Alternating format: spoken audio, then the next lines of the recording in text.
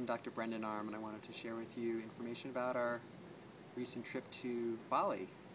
In February of this year, we spent half of the month uh, going to Ubud, Bali, visiting uh, Robin Lim, the director, founder of a nonprofit uh, organization called Bumi Sehat uh, that does uh, midwifery services and birthing services in Ubud, Bali.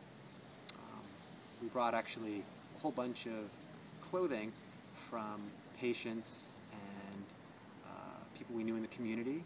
Uh, we packed up in boxes and shipped it there.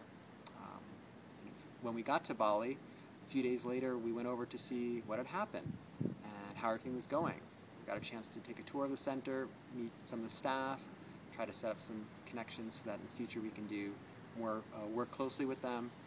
And uh, uh Robin, the director, told us a story a woman uh, recently had come over from Java in labor um, and didn't have any money to pay for a birth or even to clothe her new ba baby. Um, and the timing was just perfect. She opened up our boxes and started handing out the clothes. Uh, made all of us feel really good that we were doing some selfless service and uh, knowing that we're it's not that difficult to help people.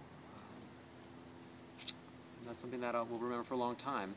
We look forward to going back sometime in the future and uh, doing more work with them.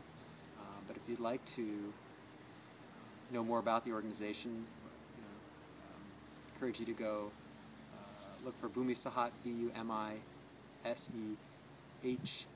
and uh, check them out online and contribute if you can, or go visit if you can. Okay, have a nice day, and uh, wishing you all the best. Thanks.